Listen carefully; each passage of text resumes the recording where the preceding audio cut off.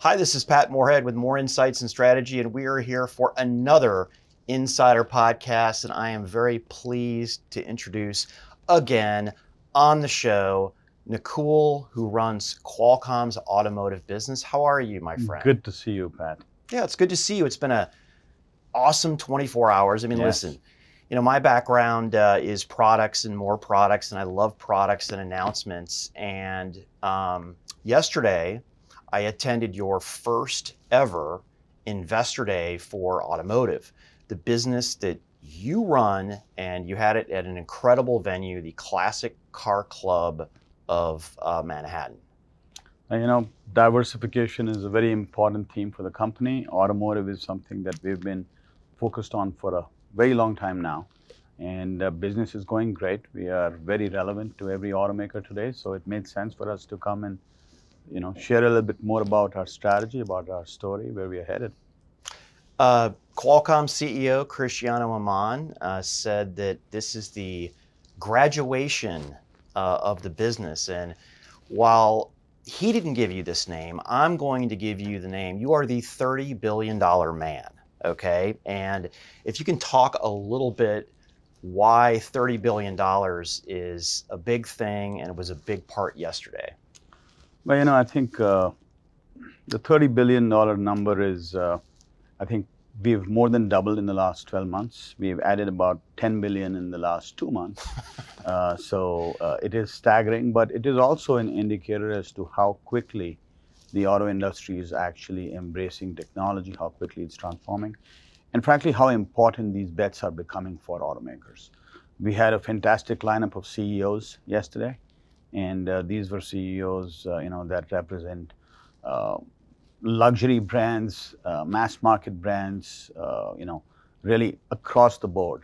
And the message really is, uh, we work with everybody. They all need to accelerate their transformation, and they need partners to be able to go do that. And it's a complicated business. So, you know, the pipeline is really, I think, an indicator of, you know, what more is to come. Yeah, it's, I mean, it's funny. People, you know, your competitors and people can have skepticism, but it all goes away with that 30 billion uh, number. Uh, what I think our viewers and listeners would be really, would love to hear from you about is which one of the key megatrends uh, really puts you in this situation to have this type of success that you've had with your business? So there is more than one, obviously. Uh, look, I think we've spent a lot of time working very closely with many automakers over the last five to seven years as they start to really understand what they want to build with the vehicle platforms that they are investing in.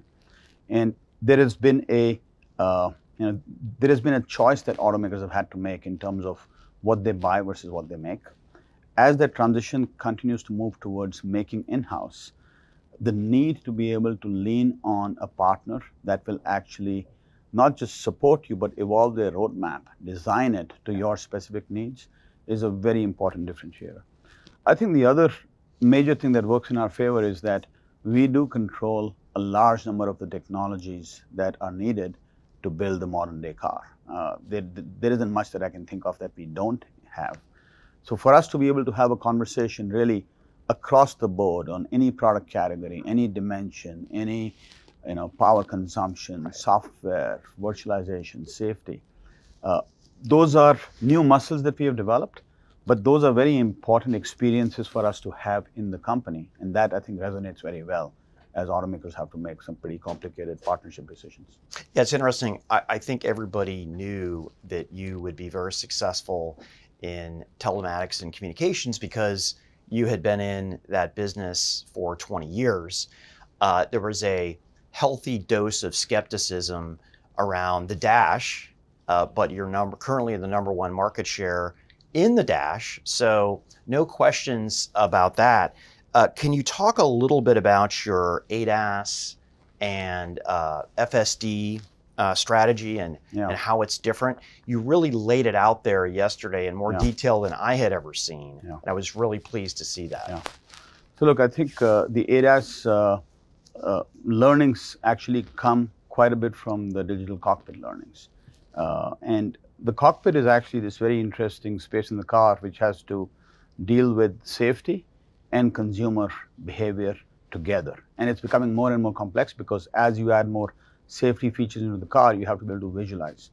One thing that we did early on was to make sure that every technology block that was relevant, we design it with the safety concept in mind. Right. Our GPUs, our DSPs, the CPUs, the uh, you know the AI accelerators.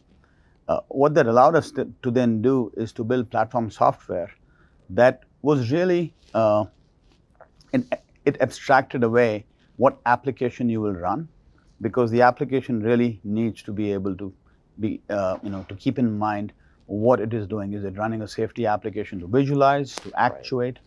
Right. Uh, the roadmap that we have built now uh, has a couple of different vectors on which it operates. At the silicon level, and the platform software level. The approach that we take it is if customers want to be able to write their own stacks, like uh, GM does with the Lyriq that we showed yesterday, uh, we will support that. We'll support the customers to be able to go bring their own differentiation. We acquired Arriver about six months ago. That was very specifically for computer vision and drive policy. Right. We are co-designing now silicon and computer vision stacks to be able to address the computer vision problem should customers wish to go uh, take that. And that is very important to address a very large segment of the entry tier population. And then the drive policy stack that we are jointly developing with BMW, that allows us to be able to build a complete solution. So we really have uh, kind of our, uh, you know, we are targeting uh, the opportunity to be able to address many different transitions that might happen in the market with some solution or the other. And as we do that, we will keep learning from the market, we'll keep advancing these products. And so I think it's a robust strategy because customers do find uh, some part of the other in our portfolio that they can solve with. Well, it really sounds like you've built up kind of a, it's not even a good, better, best. It's more like three different modalities that your customers want to operate in, right? If you want a full solution, yeah we have this for you. Yeah. If you want building blocks, we have this for you. And then we have something in between uh, for those who pick uh, an alternative route. And, and that's, by the way, I, I, am thinking of your competitors right now and how they address the market. And in a way, you, you're, you're able to address it uh, in a similar way, um, but you have three modalities, not one modality. And I do think that's a strength for you it is difficult to compete with an approach like this, and I'll tell you why. If you think about safety, uh, it is becoming standard at a lot of the entry tiers. You have to have it.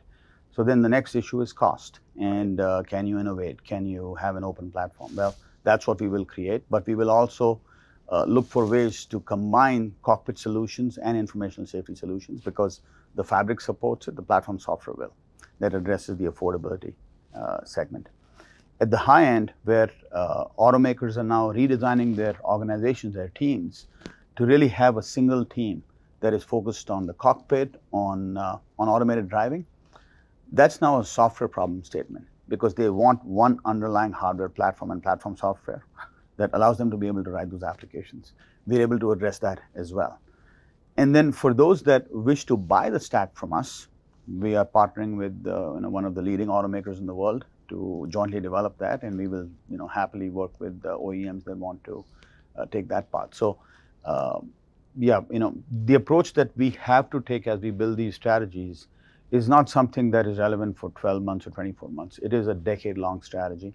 We know that different OEMs will move at different points in time. They have a lot of different uh, decisions that they have made previously that they have to follow through on. Uh, but you know, that's why the acquisition was important, the partnership with BMW was important, the silicon strategy was important, all plays very well together. Nakul, yesterday at your event, you talked about some of the changing dynamics when it comes to architecture uh, on compute. Yeah. We also talked a little bit earlier about the ability to have a, a central compute unit and then have containers to run different kinds of, of software yeah. and even different types of operating systems, yeah. which interestingly enough, um, data centers have made popular and, and rugged and in, industrialized. Yeah. You talked yesterday, gave a little bit of a hint, a sneak peek into what you're calling Snapdragon Ride Flex SoC. Yeah. I know you can't talk a lot about it. but uh, what can can you share?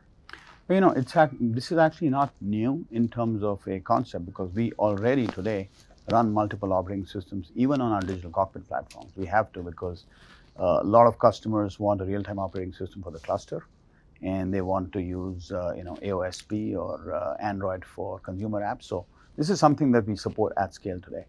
I think what is starting to happen uh, with Flex, and we'll share more details uh, you know towards CES. But really, the idea there is when you are running a full-fledged uh, safety application, you need to be able to adhere to functional safety requirements, to uh, SOTIF, to the specific uh, constraints around which a safety application has to be written. And that requires a very tight co-design of the silicon, the fabric, and the software that you're actually running together. So these are uh, this is a new area because this isn't something that uh, you know has been done before. But the idea of being able to have virtualization or uh, you know having containers to host uh, you know different types of uh, app ecosystems or functionality such that uh, they you know such that they don't compete, they don't conflict with each other. You run uh, fault tolerant systems separately from consumer applications something that we've been actually doing for quite some time. It is a fairly standard part of the platform software that we provide. So it will get to the next level of complexity because of the types of applications that are now going to be running concurrently. Yeah, I did think it was interesting. Uh, not only did you talk about your your own software, uh, you talked about software that you're designing uh, with BMW for that next level of autonomy, but you also had Google and Amazon uh, uh, on stage, which I thought was interesting because in a way you're creating an ecosystem for everybody to to to play here. Is that is that the right way to look at it? It is, and if you think about it, you know, it it is reflective of the way that we work in the automotive space because uh, especially when especially when you're talking about the cabin being something that needs to be differentiated there is a massive ecosystem that is uh, you know the consumer ecosystem that we deal with every day that definitely plays a role in terms of what that looks like. But it, but it has to sit alongside an automotive ecosystem. So, you know, I think what you saw yesterday in terms of the lineup of uh, customers and partners that we had, it is reflective of the way that we are actually engaged with the market. And one of the things that actually differentiates us compared to a number of uh, others is that the solutions are not necessarily Qualcomm only solutions. We provide platforms, they are uh, very scalable, they are very broad, and they are designed for other partners to innovate with us and in fact innovate with us multi-generationally. So it's not like you can provide a version of your software today and then next time we see you is in the next generation of silicon. No, right. that same generation will evolve two, three, four, five, six years down, and those are the contracts that we sign. So it's a very different approach when you are starting to get into this level of complexity. Uh, one thing that really stood out uh, when I looked at your slides talking about the software and the ecosystem was you're not just a North American or Western European play. No. You're a global player. Uh, and I saw, you know, quite frankly, some content vendors that I had to look up uh, that, that might be uh, in Asia, South yeah. Asia. Yeah. Uh, does that give you an advantage compared to your competitors? See, I think uh, a big advantage for uh, us being in the automotive business is that the global footprint we have in mobile actually is a big advantage because uh, what mobile gets you very accustomed to is to be able to have a large set of partners that you have to uh, lean on for regionalization, for uh, local ecosystems, content, uh, app stores. And in China, for example, we have a tremendous set of partners, ArcherMind, Thundersoft, who we work with who are our scaling partners. Right. We have similar partners in other parts of the world that allow us to be able to lean on them where we need to be able to scale up or where we have to go do something very unique for a customer. So, uh, you know, and then I think the other piece which is really important is all of our customers uh, sell cars all over the world. So even if they are based in North America yes. or uh, uh Germany, they are actually have uh, customers globally. So it is very similar to our uh, heritage in terms of how we engage with uh, customers. Yeah, I see it as a big advantage. And once again, uh, your strength in smartphones giving you strength in, in autos. And it's so ironic to me that probably five or six years ago, people were saying, well, they just do smartphones. What, what advantage uh, uh, do they have? But what's clear to me, and, and I think we've seen this in the current environment too, is supply chain matters, Yeah. right? Global player, and, and there are some challenges with doing some bespoke technologies on lagging uh, type of, of, of nodes and being able to get access. It's interesting. I didn't hear many people at all saying they couldn't get parts from you when they needed it. And I understand that there's a leading edge side uh, for things like uh, compute, and there's kind of a lagging edge side for, let's say, RF or, or sensors. But I think you did a really good job taking care of, of business for your customers. And, and to me, uh, when I talk to a lot of them, you know, they want to directly interface with technology companies now and, and foundries. Uh, it's incredible how much this industry has changed, Nakul. So I'm going to ask you the same question I always ask uh, at the end of our, our talks. What's next? What do we need to be looking forward to? I understand there's a lot of work Yeah. to do uh, to execute, but, but what should we be thinking about for the next two or three months? Well, yeah. Uh, looking or looking forward to? Yeah. Well, you know, I think uh, several things. Uh, I think the roadmap that we now have that we're going to announce uh, in more detail in the coming months is of high interest to uh, the entire industry. So, a lot of key decisions are going to get made over the next nine to 12 months. A lot of those conversations are ongoing or are about to start. Uh, so, I think uh, you know there are big awards, big design choices in front of uh, customers. Uh, we are spending a lot of time on the stack, on uh, making sure that we are able to hit our timelines uh, and our milestones. So that I think is a clear execution focused goal. Uh, we are spending a lot of time on services, uh, especially as we start to take the chassis to adjacent opportunities. I think there is an there is an approach that we can take that is a little different from a traditional hardware first approach, and so that's something that we're going to be spending quite a bit of time on. And you know, really, there is a long list of things that we can do that we have to keep doing, just as adjacencies to the domains that we have created. So, uh, look, it's a super exciting time. It's a super exciting space, and working closely with customers continuously allows us to figure out where else we could inno- innovate, where else are common problem statements occurring that provide us an opportunity to be able to bring something different. Yeah, I'll tell you what. If uh, if you spend any time here out on the streets here in uh, in Nomad District, there's bike lanes. That's right. there's bikes right. coming down at 30 miles an hour. So it seems like even even the possibility of adding safety to a bicycle would be something that would be uh, Absolutely. uh, interesting and leverage that. Yeah. So, see you at CES. yes. Okay. Good. Good to see you. Thank you very much for You too. me. Really appreciate the time and uh, look forward to chatting again and having you on the show. Thank you. This is Pat Moorhead with Nakul Duggal from Qualcomm, runs the automotive business, a very successful one with a $30 billion design pipeline and extra $10 billion in the last two months. Very exciting stuff. This is Pat Moorhead. If you like what you heard, hit that subscribe button. If you'd like to comment, say some stuff to uh, myself or Nakul, you can find us both on Twitter. Have a great day.